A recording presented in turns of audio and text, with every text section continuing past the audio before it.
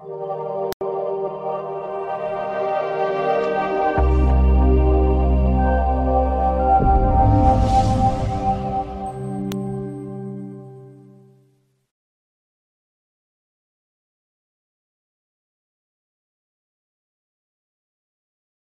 ACA liquidation chapter ಅಲ್ಲಿ two thousand twenty two ನಲ್ಲೂ ಕೂಡ ಇದು ಕೂಡ ಬಿ ಸಿ ಯು ಅವ್ರದ್ದೇ ಎಷ್ಟು ಮಾರ್ಕ್ಸ್ಗೆ ಫೈವ್ ಮಾರ್ಕ್ಸ್ಗೆ ಇದು non N E P syllabus ಆದ್ರೂ ಕಲ್ತ್ಕೊಳ್ಳಿ ಪರವಾಗಿಲ್ಲ. The following particulars relating to Vadigal limited which went into voluntary liquidation unsecured creditors including sixty thousand preferential creditors three lakhs ನೋಡಿ ಒಟ್ಟು ಮೂರು ಲಕ್ಷ ಇದೆ. ಮೂರು ಲಕ್ಷಕ್ಕೂ ಏನ್ ಕೊಟ್ಟಿಲ್ಲ? ಯಾವುದೇ ಸೆಕ್ಯೂರಿಟಿನೂ ಕೊಟ್ಟಿಲ್ಲ. ಬಟ್ ಆ ಮೂರು ಲಕ್ಷದಲ್ಲಿ ಅರವತ್ ಸಾವಿರ ರೂಪಾಯಿ ಏನಂತೆ. ಪ್ರಿಫರೆನ್ಷಿಯಲ್ ಕ್ರೆಡಿಟರ್ಸ್ ನೋಡಿ ಮೂರು ಲಕ್ಷದಲ್ಲಿ ಪ್ರಿಫರೆನ್ಷಿಯಲ್ ಅರವತ್ ಸಾವಿರ ಆದ್ರೆ ಇನ್ ಅನ್ಸೆಕ್ಯೂರ್ಡ್ ಕ್ರೆಡಿಟರ್ಸ್ ಎಷ್ಟಾಗಿರುತ್ತೆ?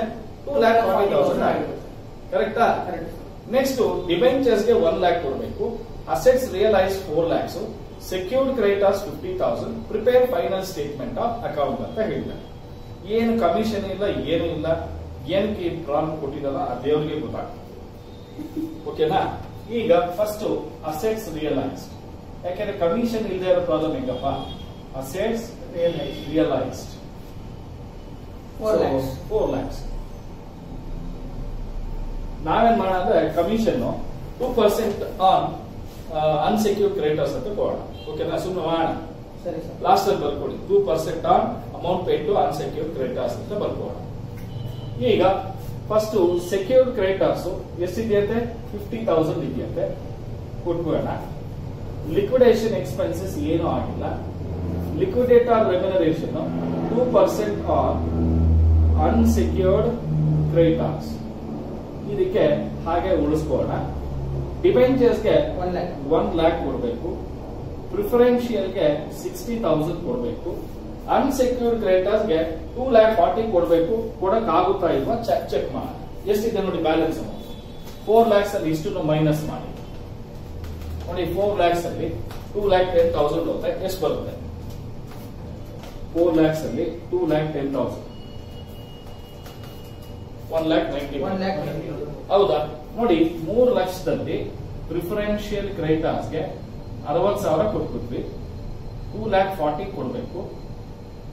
ನೋಡಿ ಟೋಟಲ್ ಫೋರ್ ಲ್ಯಾಕ್ಸ್ ಅಲ್ಲಿ ಟೋಟಲ್ ಫೋರ್ ಲ್ಯಾಕ್ಸ್ ಅಲ್ಲಿ ಇಷ್ಟು ಜನಕ್ಕೂ ಕೊಟ್ಟ ಮೇಲೆ ಉಳಿಯೋದು ನಮ್ಮ ಹತ್ರ ಎರಡು ಲಕ್ಷದ ಹತ್ತು ಸಾವಿರ ಮಾತ್ರ.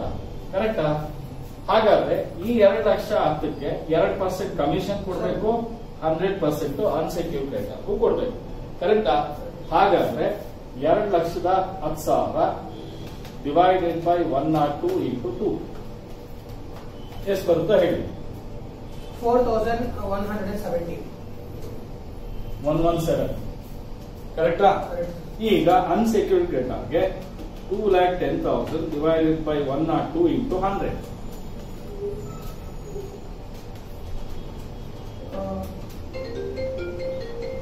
ಎಷ್ಟು two lakh five thousand eight hundred eighty two lakh five thousand eight hundred eighty two eighty two ಇಷ್ಟೇ ಕೊಡಕ್ಕಾಗ ಹಾಗಾದ್ರೆ ಟೂ ಲ್ಯಾಕ್ ಫಾರ್ಟಿ ಕೊಡಬೇಕಾಗಿತ್ತು. ಕೊಟ್ಟಿರೋದು two lakh five thousand eight eighty two ಎಷ್ಟು ರೂಪಾಯಿ ಬರುತ್ತೆ?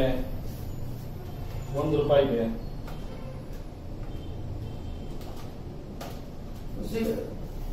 Zero point eight five seven eight four eight five ಅಥವಾ eight six ಅಂದ್ರೆ one ರುಪಿಗೆ ಏಯ್ಟಿ ಸಿಕ್ಸ್ ಪೈಸೆ ಕೊಡ್ತಾರೆ. ಇದ್ದೀವಿ ಸರ್ ನಾವು ಫೋರ್ ಲ್ಯಾಕ್ಸ್ ಅಲ್ಲಿ ಅದೆಲ್ಲ ಮೈನಸ್ ಮಾಡಿದಾಗ ನಮಗೆ one lakh ninety thousand sir ಆದ್ರಿಂದ ಕೊಡೋದಿಲ್ವಾ ನಾನು ಅದನ್ನೇ ತಾನೇ ಕೇಳಿದ್ದು. ಎಷ್ಟು ಮಿಕ್ಕುತ್ತೆ ಅಂತ ತಾನೇ ಕೇಳಿದ್ದು. ಹೌದು ಸರ್ ಒನ್ ಲ್ಯಾಕ್ ನೈಂಟಿ ಅಂದ್ರೆ ನೀವು ಟೂ ಲ್ಯಾಕ್ ಟೆನ್ ಅಂತ ಹೇಳಿದೆ. ಇಲ್ಲ ಸರ್ ನೀವೇ ಹೇಳಿದ್ದು ಟೂ ಲ್ಯಾಕ್ ಟೆನ್ ಯಾಕೆ ನೀವು ಹಿಂಗ್ ಮಾತಾಡ್ತೀರಾ? ಆ? ಅದಕ್ಕೆ ನೀವು ಕ್ಯಾಲ್ಕುಲೇಟರ್ ಫಾಸ್ಟ್ ಆಗಿ ಮಾಡೋಕ್ಕೂ ಬರಲ್ಲ? ಹೆಂಗ್ ಹಿಂಗ್ ಮಾಡಿದ್ರೆ?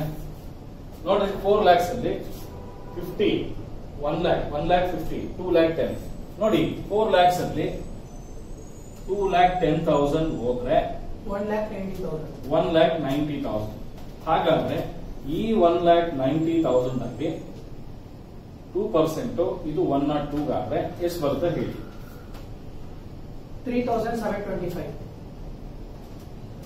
three thousand seven twenty five ಇಷ್ಟು ಹೋಗುತ್ತೆ. ಇನ್ನು ಎಷ್ಟು ಬಿಟ್ಟುತ್ತೆ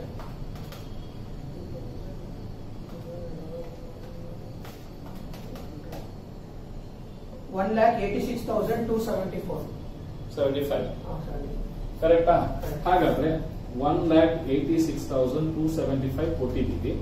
ಕೊಡ್ಬೇಕಾಗಿರೋದು ಟೂ ಲ್ಯಾಕ್ ಫಾರ್ಟಿ ತೌಸಂಡ್ ಒಬ್ಬೊಬ್ಬರಿಗೆ ಎಷ್ಟೆಷ್ಟು ಬರುತ್ತೆ ಜೀರೋ ಪಾಯಿಂಟ್ ಸೆವೆನ್ ಸೆವೆನ್ ಅಲ್ಲಿಗೆ ಸೆವೆಂಟಿ ಸೆವೆನ್ ಪೈಸೆ ಒಬ್ಬೊಬ್ಬರಿಗೆ ಒಂದು ರೂಪಾಯಿ ಸಾಲ ತಗೊಂಡವ್ರಿಗೆ ವಾಪಸ್ ಎಷ್ಟು ಮಾಡ್ತಾ ಇದೀವಿ ಎಪ್ಪತ್ತೇಳು ಪೈಸೆ ಇನ್ನು ಮೂವತ್ಮೂರು ಪೈಸೆ ಅಥವಾ ಇಪ್ಪತ್ಮೂರು ಮೂರು ಪೈಸೆ ಲಾಸ್ಟ್ ಆಯ್ತಾ?